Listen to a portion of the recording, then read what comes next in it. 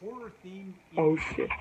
grew to become a massive popular franchise with over 30 million downloads and 30 billion YouTube views.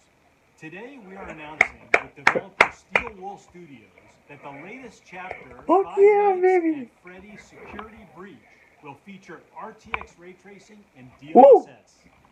You can expect a new level of immersion into Freddy's unique and frightening world. Five Nights at Freddy's Security Breach is coming later this year. Here's a look at game footage our friends at Steel Wool put together for us. Gregory, Oh my god. it's getting late.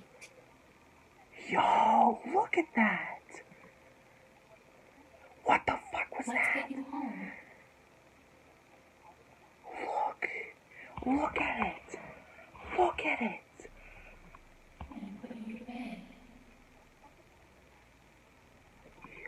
Oh. Oh my god. I see you. Oh my. It's there's so much going on.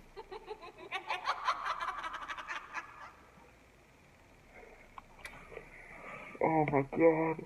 Oh. This next game was developed by 어.